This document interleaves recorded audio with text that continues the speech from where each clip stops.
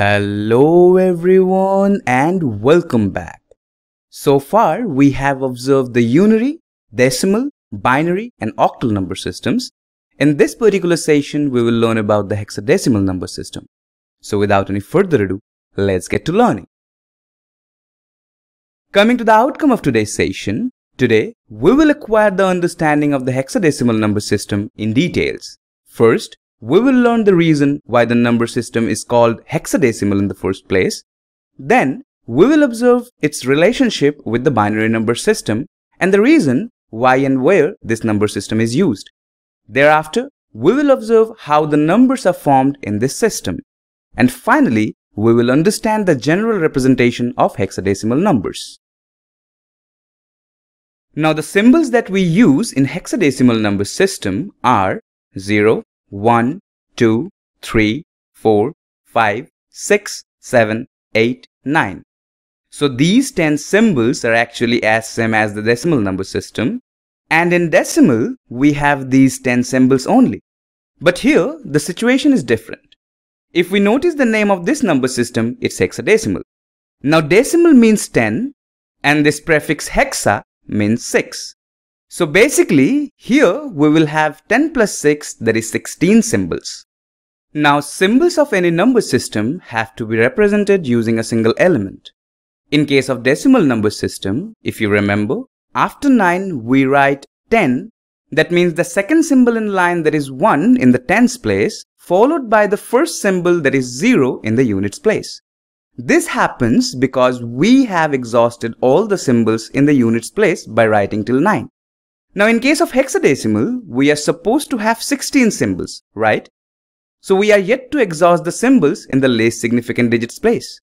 That's why for representing the magnitudes after 9, we use the symbols like A, B, C, D, E and F. So in total, here we have 16 symbols and clearly that is the base of this number system.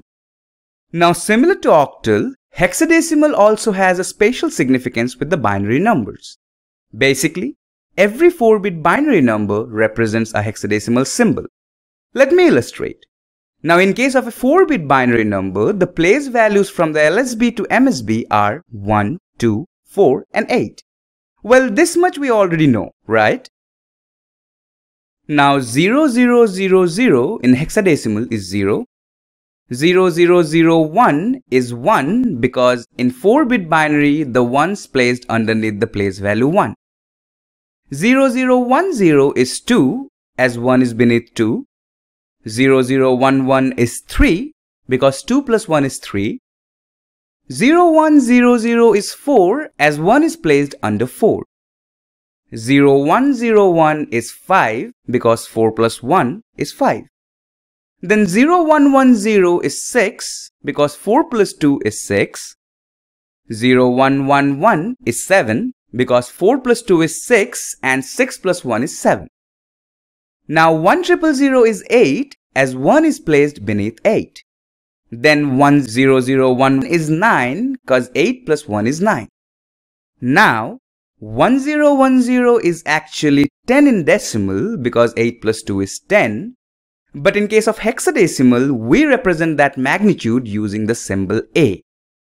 Then 1011 in decimal would be 8 plus 2 plus 1 that is 11 which in hexadecimal is B.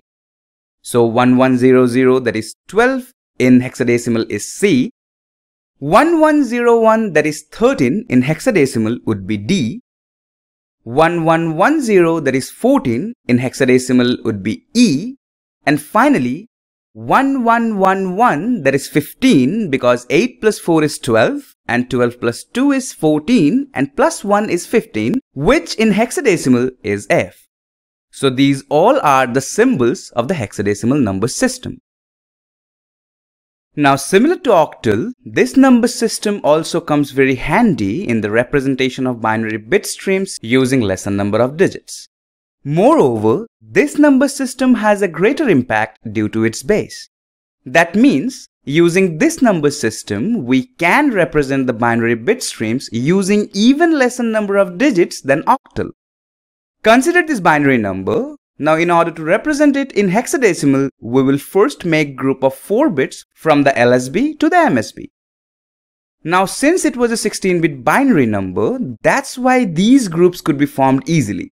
In case the groups are not formed this smoothly, that is after grouping 4 bits from LSB to MSB, if in the most significant group there are lesser number of bits, we can always append zeros to the most significant place because except for unary, in all the other number systems, we are free to append any number of zeros to the left of any number.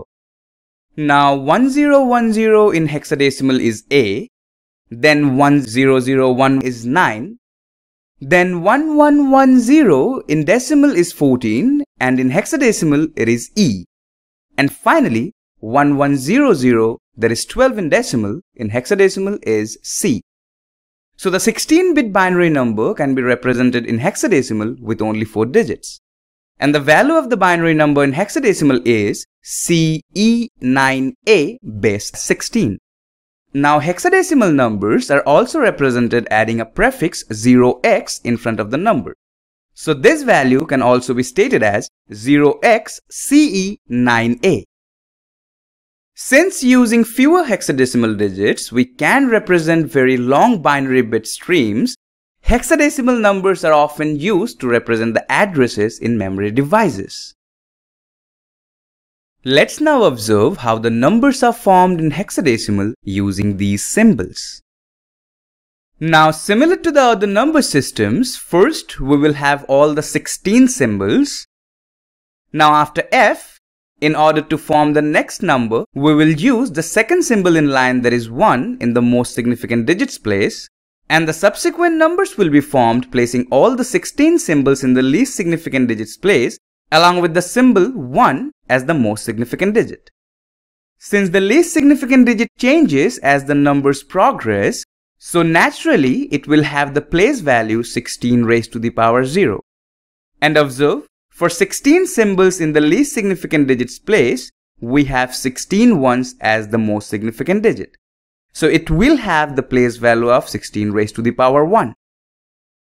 Now eventually, for the most significant digit, we will reach 9 and for 9, once we use up all the symbols in the least significant digits place, in order to form the next number after 9f, we will select the symbol A for the 16 raised to the power 1's place and perform the same drill.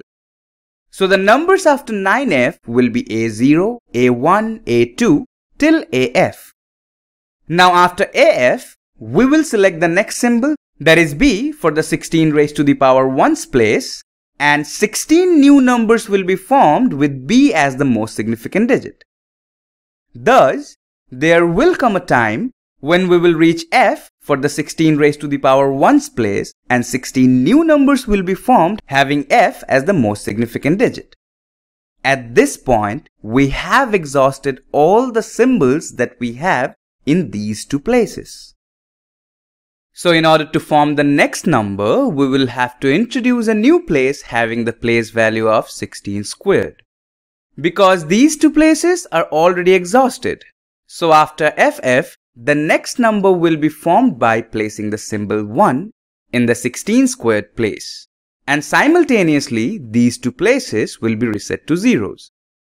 So this is pretty much how the hexadecimal number system works. Now before moving ahead, I have a question for you. What comes before and after the hexadecimal number CE9A? Feel free to write down your answers in the comment section. Now coming to the general representation, consider a 5-digit hexadecimal number. Now all these places can have any symbols from 0 to F and being a hexadecimal number it will have the base as 16. Therefore, the place values will be 16 raised to the power 0, 16 raised to the power 1, 16 squared, 16 cubed till 16 raised to the power 4. Because although it's a 5 digit number, the place value of the least significant digit began from 16 raised to the power 0. So for the most significant digit, the place value will have one less in the exponent than the place's number. So this is how we represent the hexadecimal numbers. So in this session, we learned about the hexadecimal number system in details. Alright people, that will be all for this session.